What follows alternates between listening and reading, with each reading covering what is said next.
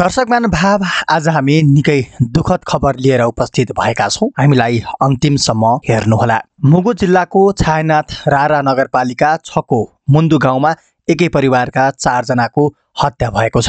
आमा दुई छोरा र एक छोरीसहित चारजनाको रहस्यमय हत्या भएको प्रहरीले जनाएको छ। छायानाथ रारा नगरपालिका छ मुन्दु गाउँकी छब्बिस वर्षीय श्रीदेवी बोहरा उनका एघार र एक वर्षीय छोरा मनोज र रहर तथा सात वर्षीय छोरी अप्सराको हत्या भएको जिल्ला प्रहरी कार्यालय मुगुका प्रहरी नायब उपरीक्षक वीरेन्द्र थापाले जानकारी दिनुभयो। शुक्रबार बिहान एघार बजे गाउँले खबर गर्न साथ प्रहरी उपरीक्षक थापाको नेतृत्वमा नै प्रहरी घटनास्थलमा पुगेको थियो। उक्त घटनाको प्रारम्भिक अनुसन्धान अनुसार मृतक श्रीदेवी छोराछोरीसहित सात गते बिहान दसैँको टिका थाप्न सोही वडाको तल्लो बस्ती माइती गाउँ कोटिल्ला गएका थिए। आठ गते बेलुका घर फर्केका उनीहरूको सोही राति हत्या भएको अनुमान गरिएको छ। नौ गते बिहानैदेखि घर बाहिर ताला लगाएको देखिएपछि छिमेकीले बिहानै सिमी टिप्न खेतमा गएका होलान् सोचेका रहेछन्।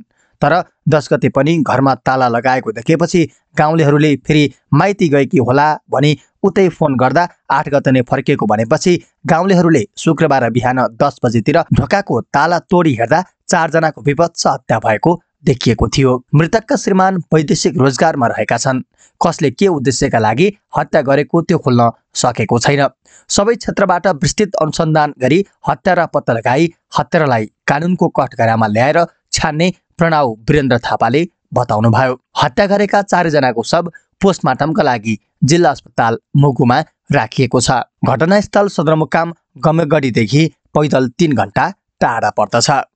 के कारणले हत्या भएको थियो यसको विस्तृत जानकारी थप अपडेट पश्चात गराउने छौँ हामीसँगै रहनुहोला।